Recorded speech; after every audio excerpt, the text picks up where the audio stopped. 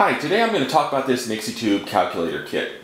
I started out many years ago building uh, other people's Nixie Tube kits and then eventually started to design my own. I've designed and built clocks, um, thermometers, web counters, Geiger counters, various Decatron projects, lots of different things, but what I've noticed really lacking was a good uh, calculator kit. So I decided I would put together my own.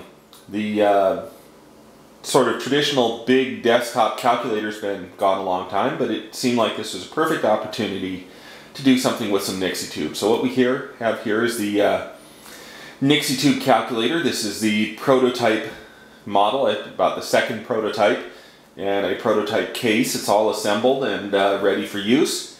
It's your uh, traditional calculator. It does the usual things. It has an on-off button. Um, you know, we can add things we can divide things. We actually have the uh, decimal points in the Nixie tubes wired up, so you have decimals. Uh, you know, I put a bunch of trigonometric keys over here, so we things, have things like pi, you know, and we can square pi. We can take the square root of pi. We could cube pi. Um, you know, we can convert to an integer. It's got memory, and it's also got, you know, a clock button, because when you're not calculating, maybe you'd like to be able to use it as a Nixie Tube clock. So let's talk about the design a little bit. I wanted this to be both uh, hackable and modular. So you can, you can program the thing yourself and you can disassemble it and build different stuff from it. So it's comprised of many small circuit boards. You can see three individual circuit boards used for the keypads. There's a 4x4 keypad, another 4x4, and a 4x2. Uh, about that size and there'll be a header interconnect that goes between the two of them. The Nixie tube drivers are also modular. I built them in uh, four tube modules. They just uh, plug together and mounted from the back side.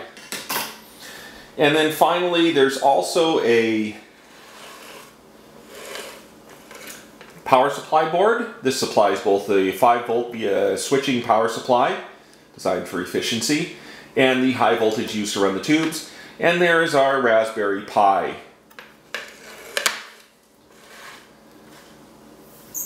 So the advantage of modularity I hope is obvious.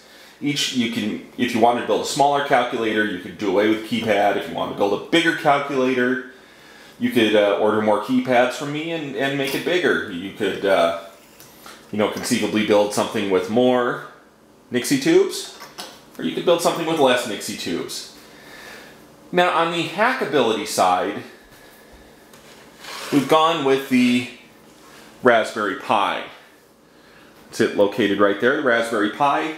It's an inexpensive, very easy to uh, program computer has an Ethernet jack right there. This is a uh, B model. The case is actually designed to fit a uh, B plus model as well, and I recommend going with the newer one. But you can see here's the Ethernet jack, so you can plug it in, you can SSH to it, you can you, could even run a web server or a you know torrent client on, on this thing if you wanted to.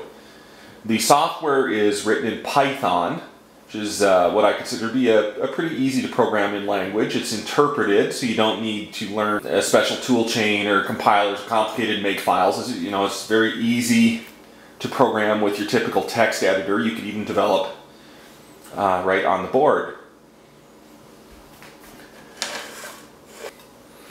The key switches I chose are Cherry MX Blue key switches. These are uh, often used by gamers because they like the sort of clicky feel to it. Uh, they're high quality key switch. They're um, just two pins to solder on each one. You just take key switch, push it into the circuit board. It's kind of held in place by friction and you've got two pins on the back side to solder. The uh, keycaps themselves are uh, are removable. So if you didn't like my keycaps, you can put your own keycaps on, reprogram the uh, microcontroller to do something different.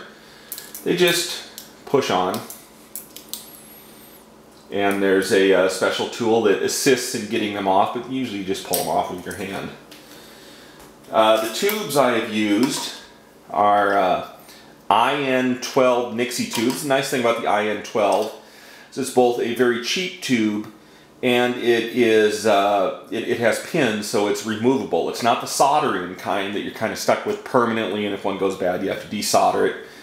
It's nice that you can just uh, plug it in and remove it, swap it if you need a different tube. So I've designed everything on this kit to be through hole so it's easy for people to build uh, without requiring any specialty tools other than a good soldering iron.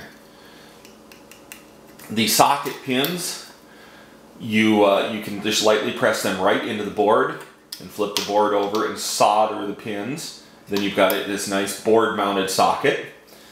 We've got uh, K155D driver chips. Uh, this is actually an older version of the driver than the one I'm running in the clock. This has uh, shift registers, whereas the driver will have an I2C driver chip. All of the chips will be socketed, so you can replace a chip if uh, something happens to it. So I'm planning on making the kit available in several different varieties. The first would just be a circuit board kit. The, the circuit board kit would get you a pair of keyboard boards of big size, a uh, keypad board for small size, it'd get you two PC boards for uh, Nixie tube drivers, and it'd get you the PC board for the high voltage power supply. You'd supply the Raspberry Pi and all the components yourself. The next level up is going to probably be a, a full kit, which will include all of the PC boards, all of the key switches, the keycaps, the tubes, the pins, the driver chips, the wire to make the wiring harness, everything except the Raspberry Pi. The thought there is that you maybe got your own Raspberry Pi and uh, you could use that. Then one version of the kit will include the case. The case is uh, laser cut plastic. It goes together with uh, some slotted grooves with uh, 440 hardware. This case is actually a uh, prototype, so it's a little bit incomplete. The real case is going to have a back panel so you can't get your fingers in there to the electrical connections and a bottom panel so you can't get your fingers into the bottom. And then finally I'm going to be offering this as assembled, which means that I would solder it together for you. To conclude, I hope you've enjoyed this presentation on the Nixie Tube calculator kit. I'm proud of how it's turned out. It turned out much better than I had ever anticipated. You know, it's, it's very usable. It looks very good. It's got both the modern and the retro vibe going with it.